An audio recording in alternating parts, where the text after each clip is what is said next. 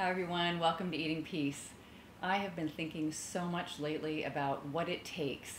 This is the most basic question of all why you're even here wanting to listen to this. What it takes to go from eating war to eating peace. What is that?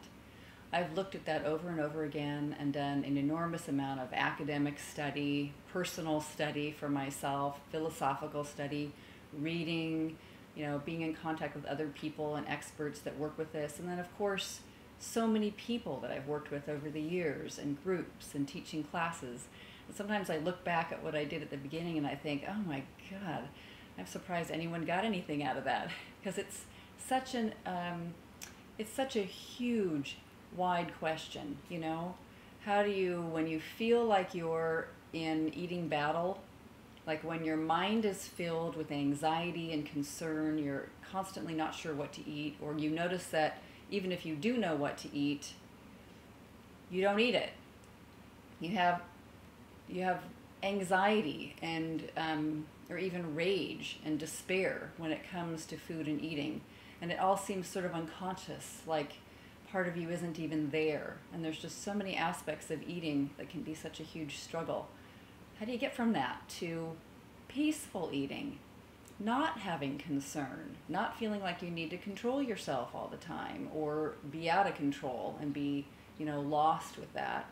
Um, I used to swing like a pendulum in such a huge, um, entirely in control experience, you know, where everything is, I'm restricting everything, I've I'm lining everything up. I've got my whole day or my plan mapped out with food and eating and my exercise regime. and then, of course, that would break apart, and I would just want one moment of letting things be the way they are, letting things be chaotic for once, you know, not having to be so on alert constantly all the time. And it didn't seem like there was much in between.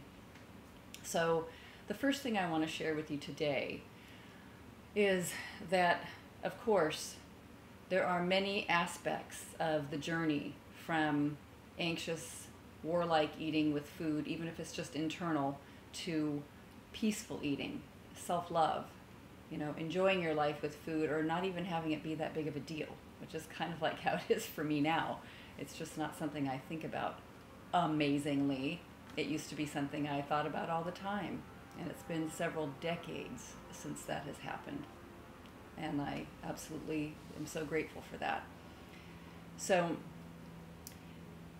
if you have found that you're you know still experiencing anxiety or have these bits and pieces of moments or if your life is overwhelmed with um, concern about how to handle eating how that shows up in your body what that relationship with is like for you in all kinds of different situations um, the place I love to look at it first is to that we're going from feeling of feeling bad to feeling peaceful, to feeling good.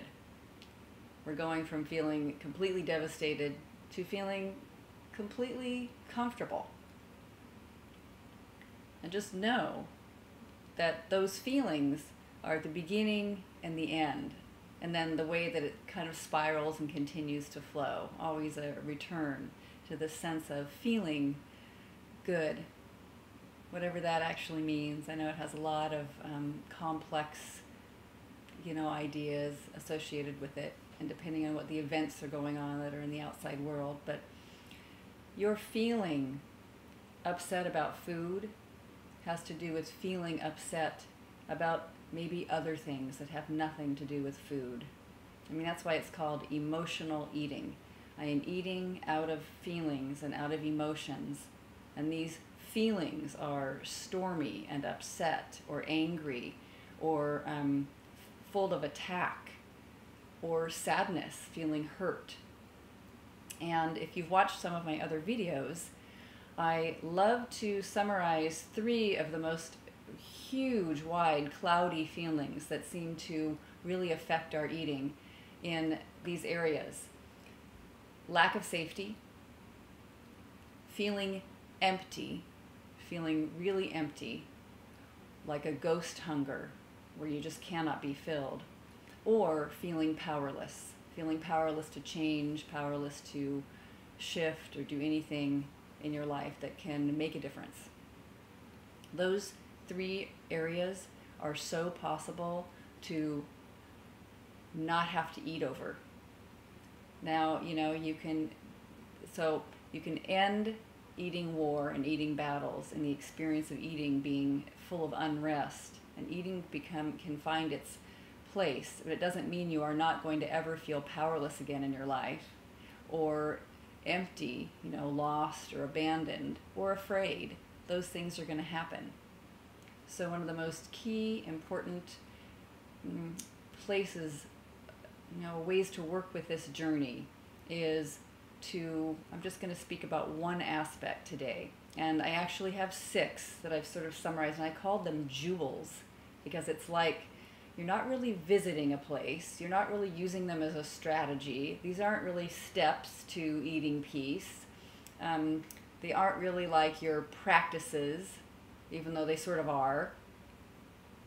But I love them because they're sort of like jewels because I like the image of that within us all, we have like these jewels inside already. They just get sort of covered up with dirt. You know, they have all this dust and piles of experiences falling down on top of them, and they're like under a whole, um, you know, accumulation of childhood patterns and thoughts that we've been thinking and teachings and the way people have been with us.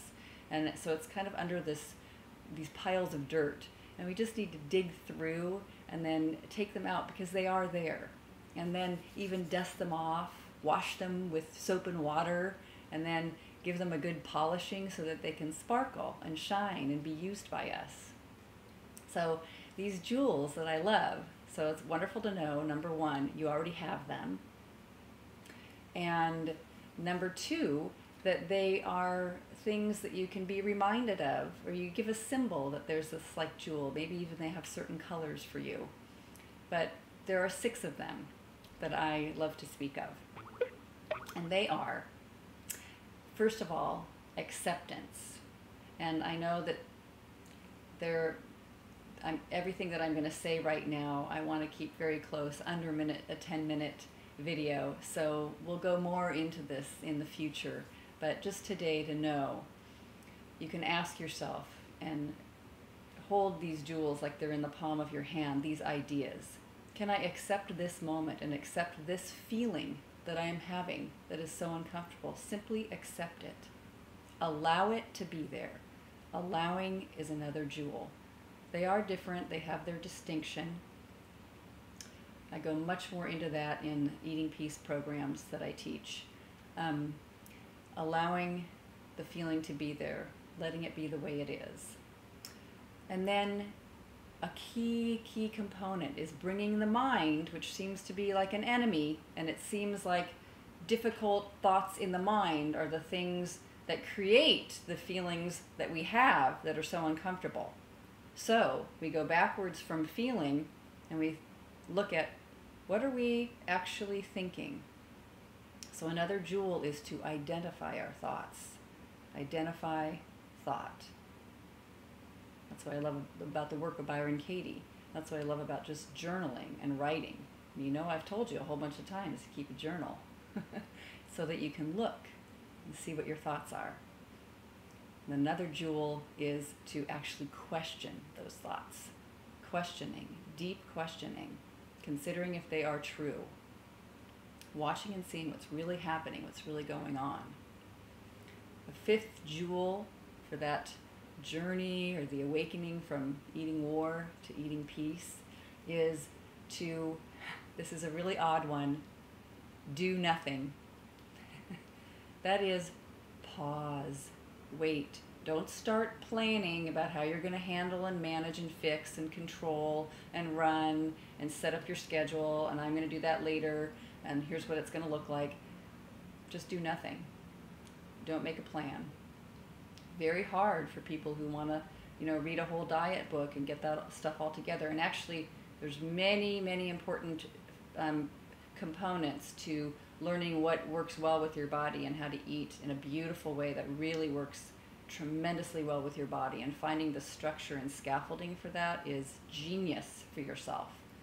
But You don't have to go racing off to the, you know, wildly in in that in order to get the right plan. And the sixth jewel is to be. Be who you are. it's going to sound so like grace. What do you mean just be?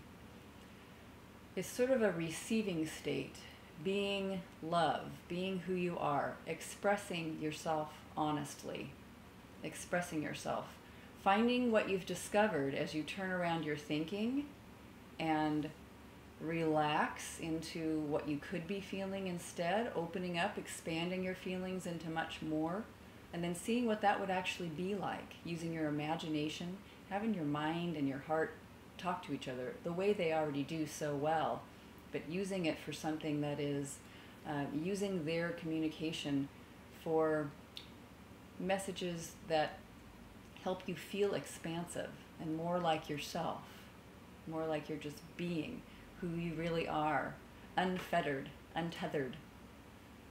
And that leads you to eating peace. I mean, if you can find that, anyone who can find that finds peace everywhere. You carry it around with you in everything that you do, and this magnificent thing called eating, bringing some of the universe that is out here, apparently, right into yourself, into your own body, can become incredibly peaceful and just a non issue. Everyone has the capacity to get to that. Everyone does. Everyone has the right to live in peace with food. It's just a natural part of having a human body. And you can do that.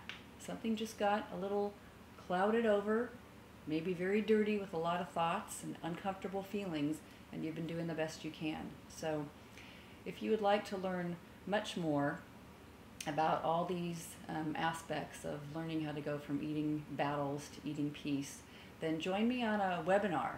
I'm going to do this first one on Sunday, Pacific time at 8:30 a.m. November 8th, and I will make sure to include uh, a link to how you can find out how to watch that on your computer.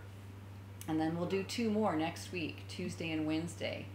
So you'll get steps lots more deep. We'll go much farther into these steps, 90 minute webinars so that you really can um, incorporate this into your life and understand how to use these practices and carry your jewels around with you everywhere without even having to think about it. All right. Thanks for joining me today. Talk with you all soon. Bye bye. Hope to see you soon.